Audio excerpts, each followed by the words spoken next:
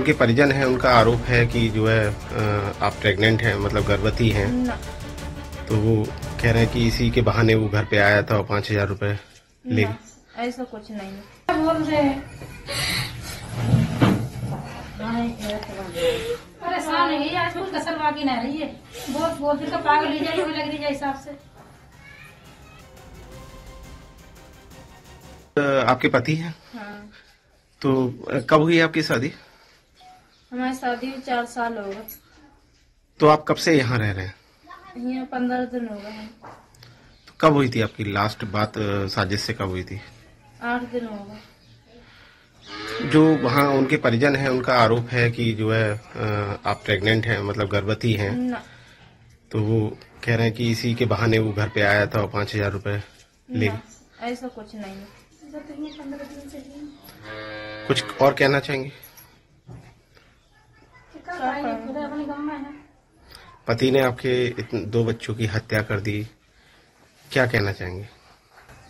क्या चाहिए हम्म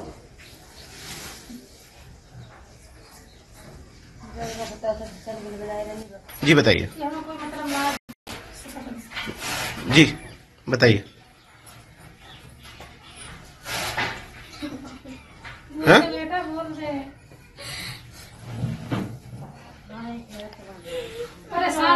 आजकल कसल बाकी नहीं रही है। बहुत बहुत दिन का पागल ही जाए लग रही है हिसाब से। क्या कुछ कहना चाहेंगे? बता दीजिए। क्या कहना हम्म? कुछ लगा आपको कभी आपकी ऐसी बात हुई कि इस तरीके की कभी कोई? ना कोई बात नहीं। वो जो गर्भवती की बात कह के आपसे वो भी नहीं? और कोई बात सामने आ रही है? आपको क्या लग रहा है? क्यों हत्या करी उसे? क्या पता क्यों करी? हम्म? हमें क्या पता क्यों करी? अभी एक्सक्लूसिव हम आपको एक और कड़ी से मिलाते हैं। सना हमारे साथ हैं। ये साजिद की पत्नी है, जिसके बारे में साजिद ने कहा था कि वो उनकी इलाज के लिए, उनकी प्रेगनेंसी के लिए पाँच हज़ार रुपए लेने के लिए उनके घर पे जा रहा है। वो पत्नी देखिए हमारे सामने बिल्कुल मौजूद है, बिल्कुल फिट है, किसी तरह की कोई बीमारी नहीं है, कोई परेशानी नहीं है, और इन्हीं सना का नाम लेकर साजिद जो है, वो घर के अंदर गया था, और इन्हीं की जो प्रेगनेंसी है, इनकी जो बीमारी है, उनको लेकर पाँच हज़ार रुपए की डिमांड की थी। इन्हीं से हम बात करते सना कोई बीमारी आपको कोई परेशानी आपको? ना कुछ नहीं। कोई परेशानी कोई बीमारी? नहीं? परेशानी नहीं। ये भी बताया जा रहा है कि आप माँ बनने वाली ऐसा है? ना। तो आखिर साजिद कैसे बोल रहा था कि आ, आपकी बीमारी का बहाना लेकर वो गया और पाँच हज़ार रूपए मांगे? हमें क्या पता? आपको इस बारे में कोई जानकारी नहीं है। कब बात हुई थी आपकी साजिद से? आठ दिन पहले हुई तब से हुई ना। आठ दिन पहले आपने साजिद से बात की? क्या बोला था उसने? हाँ आज के दिन हुई। आज के दिन पिछले सप्ताह। क्या बोला था साजिद ने उस वक्त? क्या बोला था? इसी पूछ लेते खैर सल्ला। खाना खा लिया ठीक हो बस अब कोई बात नहीं। उसके बाद कोई बातचीत नहीं। कोई बात नहीं। आप यहाँ अपने मायके में कब आई? मैं क्या पंद्रह दिन हो गए। पंद्रह दिन पहले आप साजिद के साथ घर पे थी। हम्म। कभी उस दौरान इन दोनों बच्चों का ज़िक्र आया हो या परिवार का ज़िक्र आया हो या संगीता ब्यूटी पार्लर का ज़िक्र आया हो कुछ कुछ ना कुछ ना। कभी भी कुछ ना कुछ ना। पैसे को लेकर कोई तंगी वंगी? घर परिवार ठीक चल रहा था? हाँ। पैसे वो कमा रहा था साजिद? हाँ। बालों की दुकान ही हुई काम करते थे। अपनी दुकान थी या किराए पे था? अब किराए पे ही। किराए पे। और दोनों भाई काम करते थे साजिद जावेद या कोई और भी था? जी दोनों जने करते थे और कोई नहीं करता। और कोई नहीं करता था। कोई आर्थिक तंगी पैसे को लेकर कोई दिक्कत? ना कुछ नहीं। कोई दिक्कत नहीं। कभी पैसे को लेकर कोई विवाद के बारे में साजिद ने बताया हो? ना। कभी कुछ नहीं कुछ न बताया उनने। कोई तंत्र विद्या या इस तरीके से कोई कुछ भी नहीं।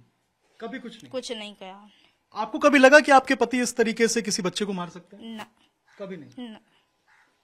साजिद का इनकाउंटर हो गया। आपको लगता है कि सही हुआ? जैसा उसने किया। क्या बताएँ अब हम तुम्हें? बिल्कुल। आपको नहीं पता कुछ भी। अच्छा आप जब घर में रहती थी तो जावेद आता था जाता था उसका व्यवहार कैसा था जावेद का? जैसे रहते थे वैसे भैया भैया अपने दोनों जने रहते थे सलाह से। कोई बात नहीं थी। कोई दोनों भाई में लड़ाई वगैरह कुछ ना कुछ ना। कभी दोनों भाई ने कोशिश की हो आगे काम को बढ़ाने की या पैसे को लेन देन के बातचीत? कुछ ना। कुछ भी नहीं? ना। कभी आपको ऐसा लगा हो कि इनके मन में कुछ गलत चल रहा है या मारपीट ना हमें कभी कुछ नहीं लगा। कभी कुछ ना। घर में इनका नेचर कैसा था आपके प्रति? मतलब मारते थे पीटते थे या कभी ना कुछ ना। ना मारते कुछ नहीं करते थे। सलाह से रहते थे और काम क्या करते थे ये कुल मिलाकर? जे बालन को काम करते नाई वाला। बस नाई का। हाँ और, और कोई काम नहीं करते और कोई काम नहीं करते थे। और इनकी दोस्ती किन लोगों के साथ में थी? जो हमें क्या पता अब इनकी।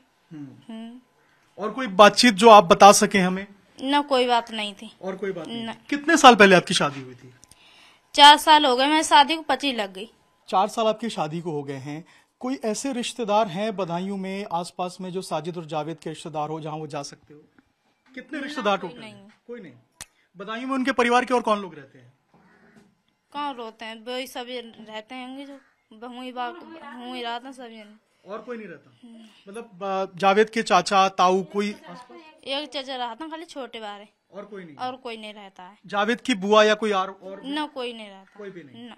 और कहीं जो ऐसा जगह जहाँ जावेद जाता हो या जा सकता हो या साजिद जाता था पहले? कहूँ नहीं जाते वो? कहीं नहीं घर पे रहता था? हाँ। और कभी भी आपसे ऊँची आवाज़ में बातचीत की हो ना कभी ना। कभी नहीं? ना। बिल्कुल नहीं। देखिए ये सना है उनकी पत्नी है और ये बता रही हैं कि भाई वो तो जाता नहीं था बातचीत नहीं होती थी परिवार एक साथ रहता था शादी के चार साल हो गए थे। फिर आखिर वो क्या वजह थी? आखिर वो क्या कारण था कि साजिद ने इस तरीके से ये कदम उठाया? ये बड़ा सवाल है और जावेद को ही इस बात का जवाब देना है। सना को लेकर लगातार साजिद जो है, वो गुमराह करने की कोशिश कर रहा था। सना को बीच में ला रहा था, लेकिन सना तो यहाँ है अपने घर पे। पंद्रह दिन से अपनी माँ के घर पे है। बिल्कुल फिट एंड फाइन है, बिल्कुल अच्छी है, स्वस्थ है, एकदम खड़ी है और कह रही है कि इनको तो पता ही नहीं है कुछ। तो आखिर वो क्या कारण था कि बार बार साजिद जो है, वो सना को इस पूरे मामले में खसीट रहा था? यानी कि ये तो बिल्कुल साफ़ है कि जो बात अपनी पत्नी को लेकर साजिद कह रहा था, वो टाइम्स नौ भारत के कैमरे पे एक्सपोज हो चुकी है कि इस किसी भी तरीके से सना बीमार नहीं है, ना ही सना माँ बनने वाली हैं। यानी कि जो भी बात साजिद कह रहा था, जिन बातों को लेकर वो घर पे गया था, ये सारे बात तथ्यात्मक रूप से बिल्कुल गलत हैं। इनका वास्तविकता से कोई भी संबंध नहीं है। तो आखिर वो क्या कारण है? अब ये बहुत अहम हो गया है जानना। देखना होगा कि आखिर इस पूरे प्रकरण में और क्या क्या जो एक्शन है, वो बदायूं पुलिस लेते हुए नज़र आ रही है। लेकिन अभी भी जावेद फरार है, उनके पिता और उनके चाचा को पुलिस ने अपनी कस्टडी में रखा है। लगातार सघन पूछताछ जारी है ताकि जावेद का जल्द जल्द पता चल सके और जो सच्चाई है इस पूरे मामले में, उसको सामने लाया जा सके।